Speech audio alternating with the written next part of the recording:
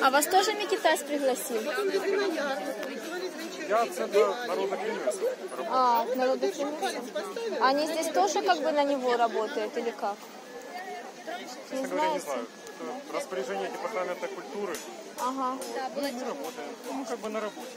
Чтобы сюда приезжать, да? Да, мы люди подневольные, нас как бы распоряжение вышло и работаем. Приехали. Спасибо.